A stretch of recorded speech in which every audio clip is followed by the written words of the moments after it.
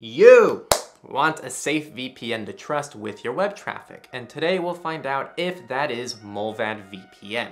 Now Mullvad has no sponsorships or affiliate plans, and that's great because we conduct our reviews systematically. You can find all our data and processes on GitHub, as well as our website. If you want the most up-to-date information on VPNs, always check the charts, and you can even contribute data or new VPNs yourself, as everything is open source. Our review protocol has six categories, worth five points each, rated by importance for a total score out of five, and this review is using version 3.1.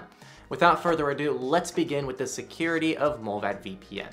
First, history. They have good history, in fact one of the best histories with no issues to this day. They have OpenVPN and WireGuard support, which is kind of just a bare minimum that we require. They passed all IP and DNS tests on all devices. They have kill switches, IPv6 leak protection, the good encryption you'd expect to find in any good VPN. Now, they do not have 2FA, which is especially frustrating considering there's no real login outside your account number. So if anyone gets your account number, they now can use your VPN until it expires. 2FA kind of seems like a no-brainer with a system like this. I don't know why that's not there yet. They do have infrastructure and client audits for the utmost transparency, which is fantastic. We don't have many services that do that.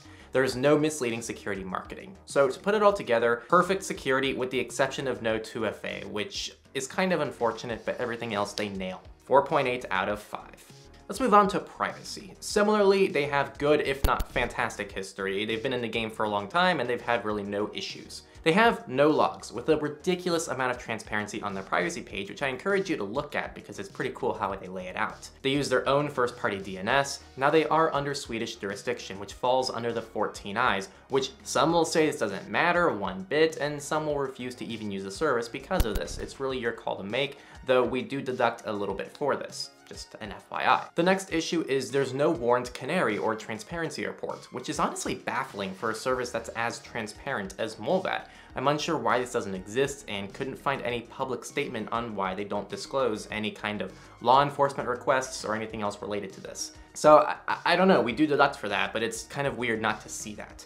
There are no analytics concerns with all of their clients being completely open source. They accept anonymous payment methods, including cash and several cryptocurrencies, and they're one of the few services that have a truly anonymous signup without even requiring an email alongside Windscribe and iVPN. These are all kind of rare. They actually have some first-party servers even, and very clearly outline which ones those are on their website. Seriously, you can check if it's rented or owned and only use servers that they own.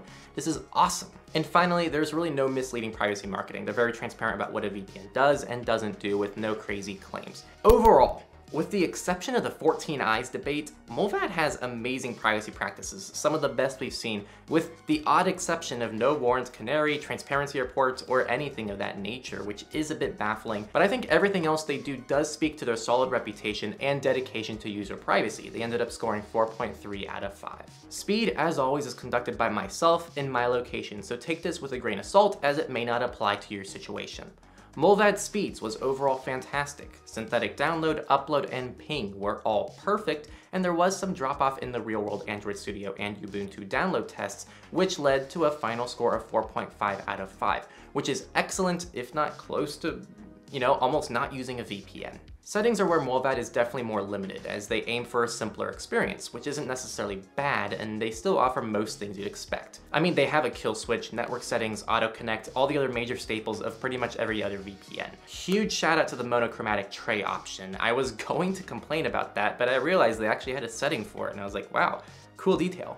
Putting everything together, settings are 3.5 out of 5. Nothing too different from other services we look at, uh, but nothing terrible. Usage of Mullvad is pretty straightforward. Their desktop clients predominantly rely on a tray-based navigation, and I feel they actually executed this well, so it feels like this is actually helping you instead of hindering you, which is typically what I feel when I'm using tray-based navigation. They do have Linux support as well, which is just incredible. Now, moving to mobile, they're pretty clean clients as well, without much to say. They kind of just work. You can even download it from the open source app store F-Droid on your Android devices, which is completely awesome.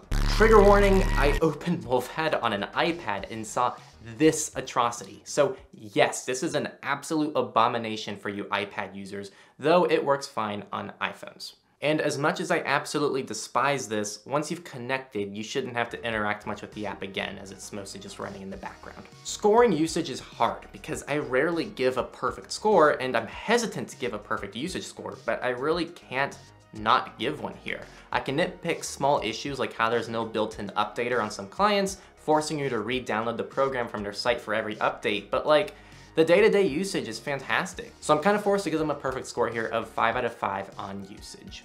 And stability. No issues whatsoever. It seems all VPNs with open source clients have very few problems. Take notes, other VPN companies. 5 out of 5.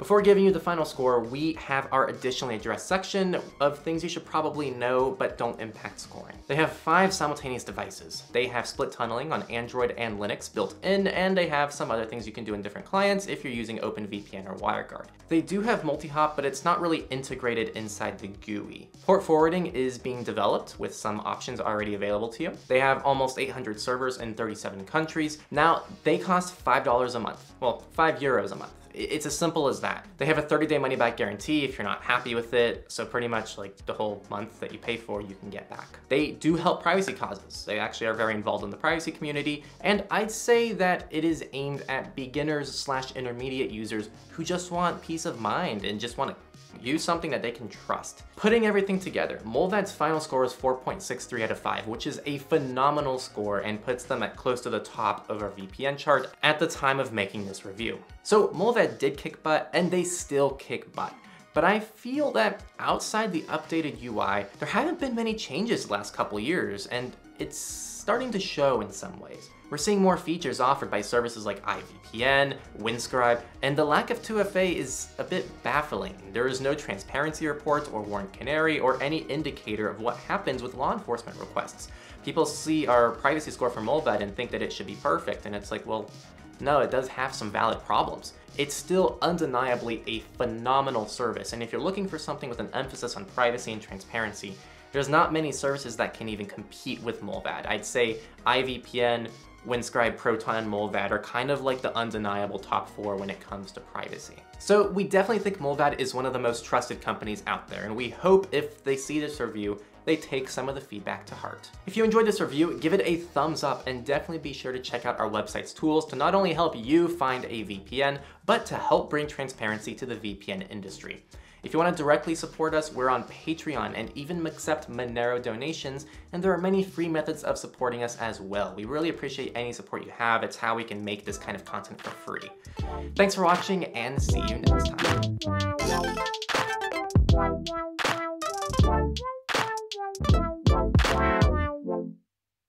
Wow.